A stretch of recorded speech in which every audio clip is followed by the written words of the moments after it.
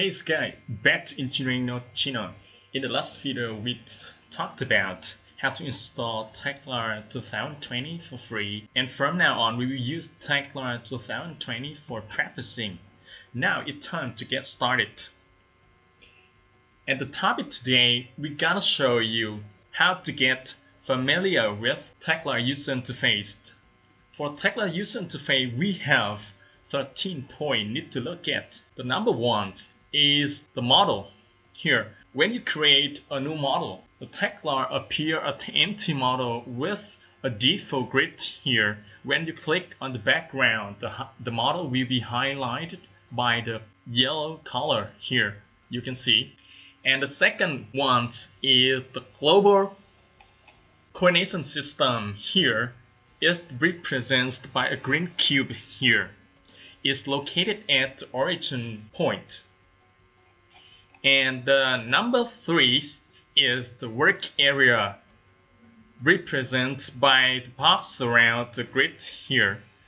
Work areas will represent the elements of your model. When one element is outside this area, that element will not be appear. For example, I create a column here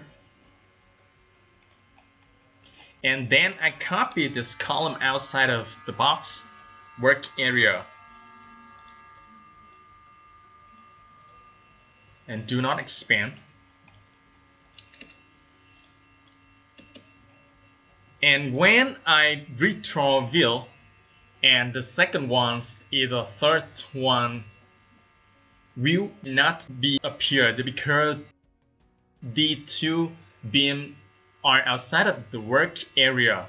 If you want to appear all element in your model, you right click on the model and fit work area to entire model. And now you will see all the element in your model here.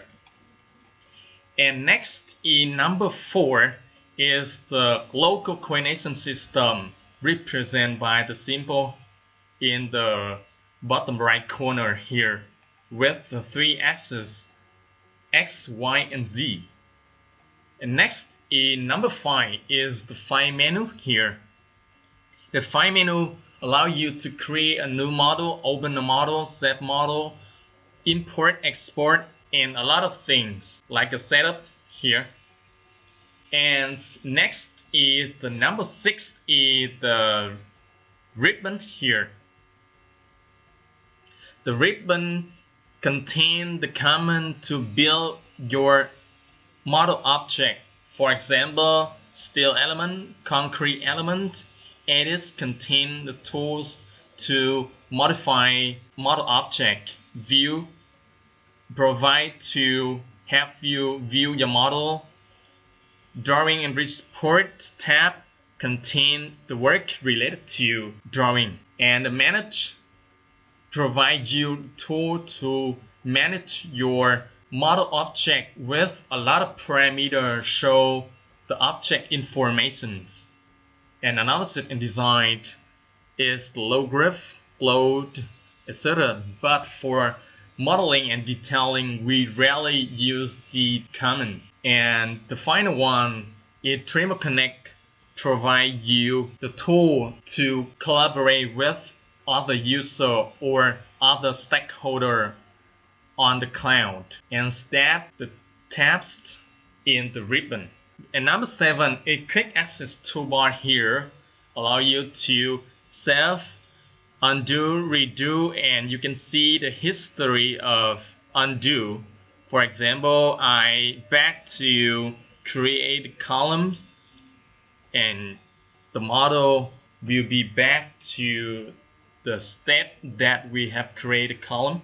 And next in number 8 is quick launch a quick launch allow you to quickly find the command in the case you forgot where the command button is. For example you forgot the column command and you type here the column. And then the tag Tekla will show you a list of command uh, related to the column. For example, you create still column here. You change the profile.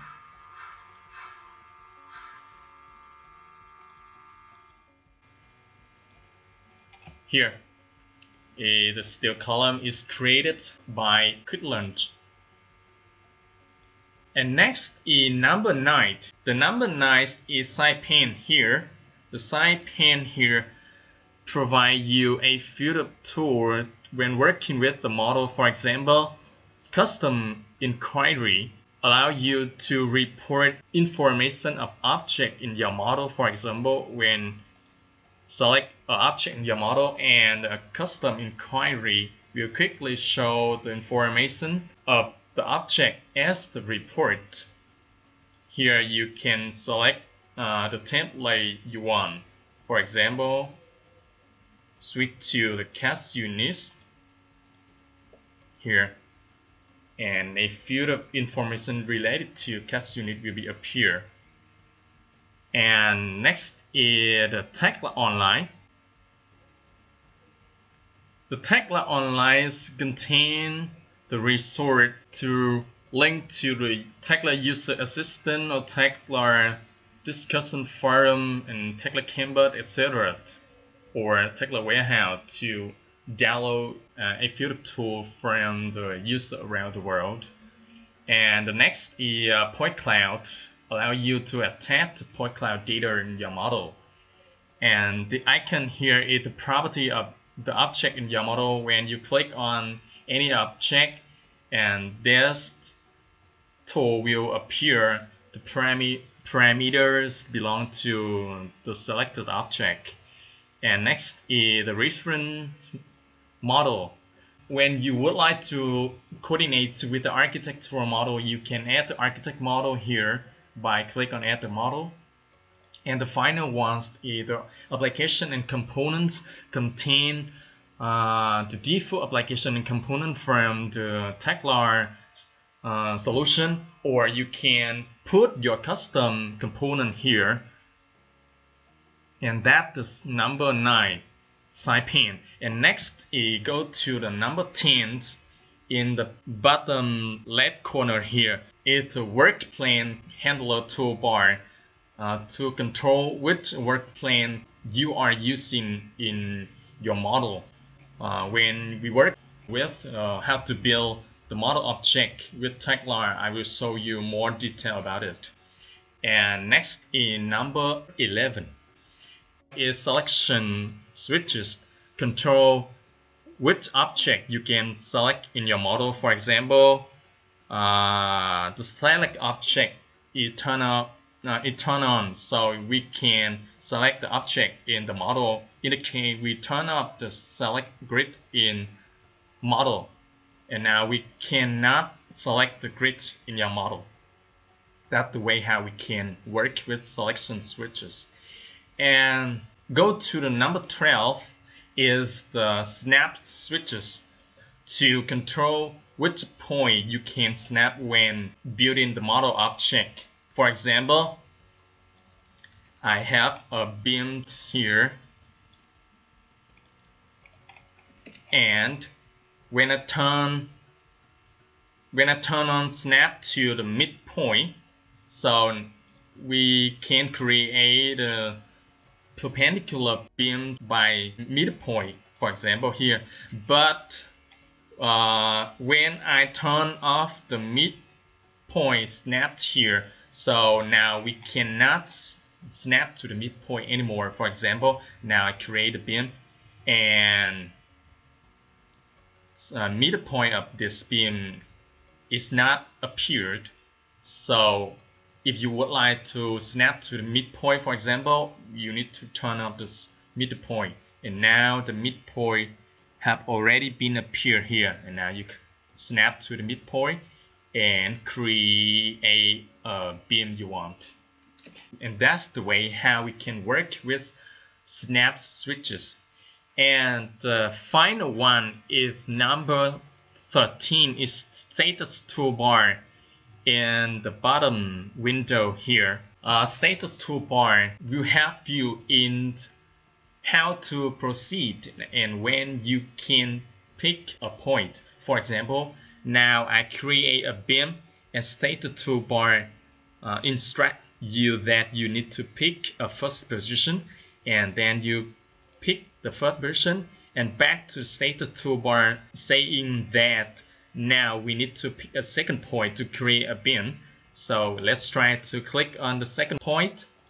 And now the beam is created by uh, following the instruction of status toolbar and another thing is showed by status toolbar is um, uh, the phase you are using or the how many objects is being selected.